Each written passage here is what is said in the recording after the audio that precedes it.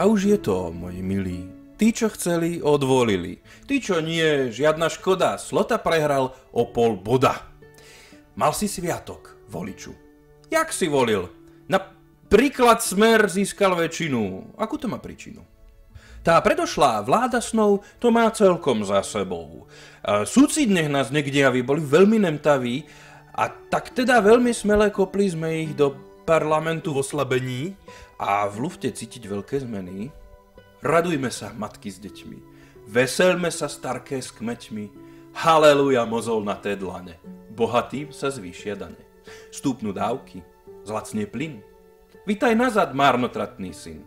Býva plač a býva krik, keď vládne docent Jánošík. Poviem ti to volič rovno, zvolil si nám dobré harmonickú vládu, čo nosí Breitlingy a Pradu. Viem, že zvolil s nádejou, ale bandu zlo... Denice, kde polka z nich má plachetnice. 44,4.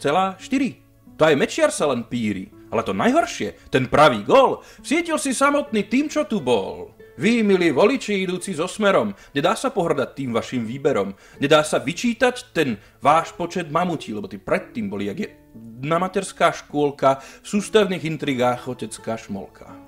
Vláda už nebude korábik vratky, prestanú rozbroje, ustanú hádky.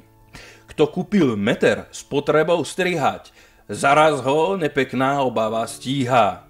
Keď nemtaví nezistia, čo sa im stalo, metrik len púhy je žalostne málo. Zabudnú zase, že sú tu pre voliča. Budeme mať na 3 metre toho kolipiča.